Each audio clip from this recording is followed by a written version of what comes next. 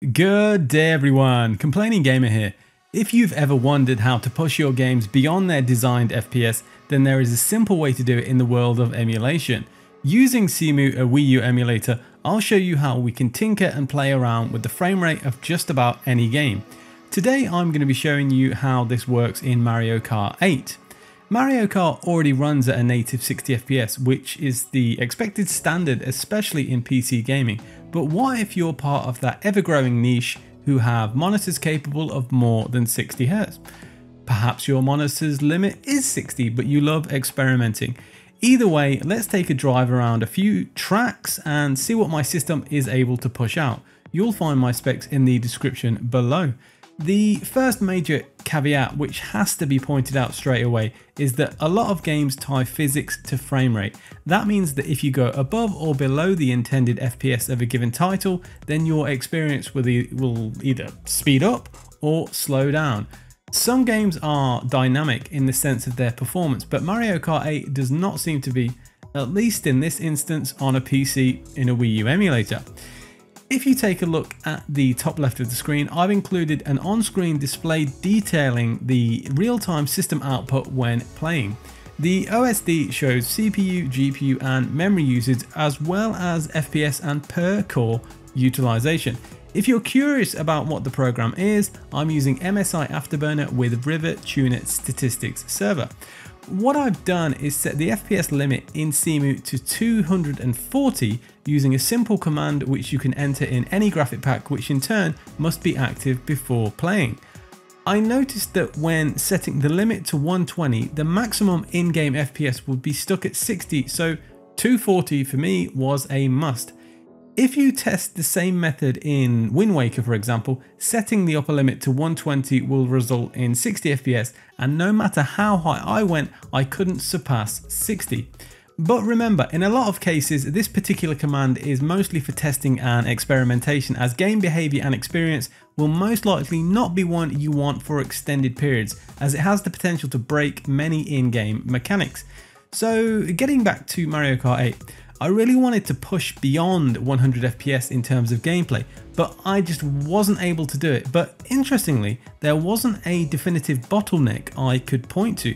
Sometimes you find yourself at the mercy of code, whether it be Cemu or something within the game design itself. This is where I want you guys to jump in. If the issue is my system, then you try Mario Kart 8 or any game of your choice and see how far you can push the FPS. If you can, make a video and link it and I'll definitely check it out. You may find that FPS changes a little bit depending on the track. Also remember that the FPS video limit on YouTube is 60. As always, a full shader cache is recommended for stutter-free gaming. Let me show you how we edit the graphic pack to achieve this FPS change. Open your Cemu folder go to graphic packs and as we're editing Mario Kart we're going to go down to Mario Kart. Uh, I'm going to pick the 1080p resolution pack. You can pick any one you want. And all we need to do is open the rules folder. Uh, let's just make a little space here. And this is the command that we're going to use. Uh, control vsync frequency equals, and this number can be 60, 120, 240, 480 try and keep it in a logical multiplier. For the purposes of this video, we're going to do uh, 240 and just click save.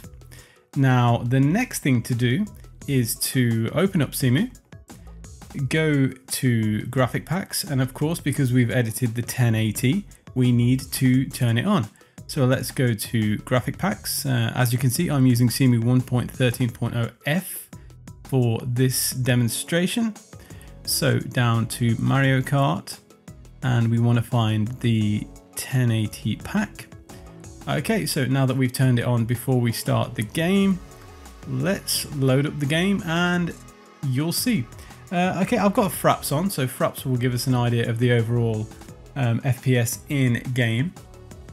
Now, what you'll find is there will be a difference between the FPS that you see in the menu and the FPS in game. Now, the menu is typically the easiest way to see this maximum number that you have set. So we should hope to see 240 in the menu, but in game we're looking around 80 FPS. Now, I don't have any specific settings to recommend other than in options and general, make sure that VSync is turned off.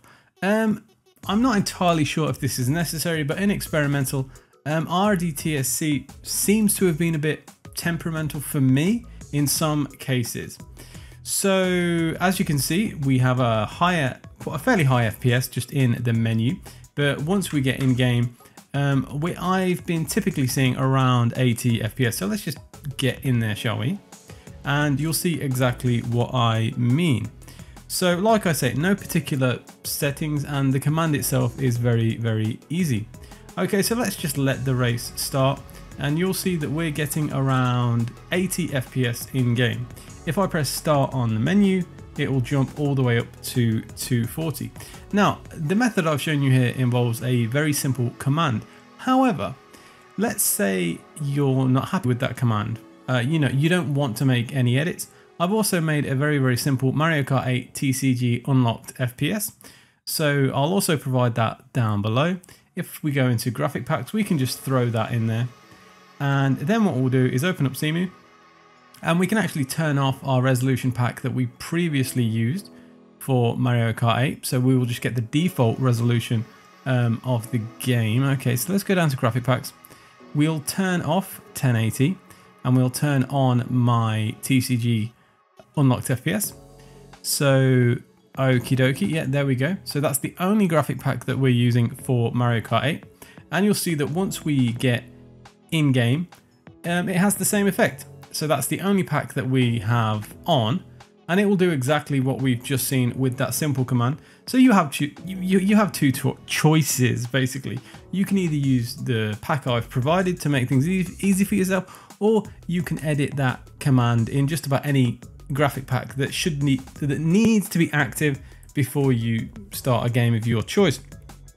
Now the thing to remember is we're focusing on Mario Kart here but that command can actually be used in just about any game. But of course, because the physics seems tied to the FPS, you often do get an unnatural speed. This command is fairly primitive and unrefined in its execution. However, there are examples in the Cemu community of 60 FPS being achieved correctly. The glaringly obvious title being The Legends of Zelda Breath of the Wild, thanks to the graphic pack FPS++, but even with the dynamic FPS, certain physics-based elements still behave incorrectly. Other titles which have 60 FPS patches are Xenoblade Chronicles X and Hyrule Warriors. The current issue with Xenoblade Chronicles X, however, is that it's limited to single-core CPU recompiler, meaning that very few users can maintain or even reach 60 FPS. So even when time is dedicated to a single game and the code injected through a graphic pack to provide a higher frame rate, not necessarily designed for that title, it's still a challenge to do it accurately. You may have also seen static FPS packs, which actually perform with much greater stability and consistency and something that I recommend. All three games mentioned have these static FPS packs. However, the one caveat is that if your system cannot reach and maintain that frame rate, anything below that number, whether it be 30 or 60, will result in a slowdown in game physics, so you should definitely test the capabilities of your system. If your system can reach the desired number, then the benefit is a very smooth experience. Naturally, the argument can be made that this is why we, the emulation community, exist to tweak, tinker, find improvements, and get every last drop of performance out of an emulator that we can, pushing games to their absolute and often unintended limits to see what type of experiences can be achieved. Obviously, with my system, the on-screen display reported a fairly consistent 80 FPS, up by 20 from the native 60 that Mario Kart 8 runs at. That 20 FPS increase does lead to unnatural speed and gameplay, However, I believe that the difference is fairly low impact given that we're playing a racing game and perhaps provides a sped up experience you might enjoy. I should add that don't be surprised if you experience crashes or strange game or emulator behavior. If you'd like to know more about specific game frame rate defaults, you can check out the great forum thread linked below by Pickle Rick. So there's my two cents on adjusting FPS in Cemu in any game you want. Make sure to give it a try by simply adding that command in any graphic pack related to a game of your choice. Leave your ideas, thoughts and comments down below. Complaining Gamer social media links are also there. If you enjoyed the content, leave a like. If you didn't, dislike. And to stay up to date with all things emulation, subscribe and hit that bell icon. I'll catch you in the next one.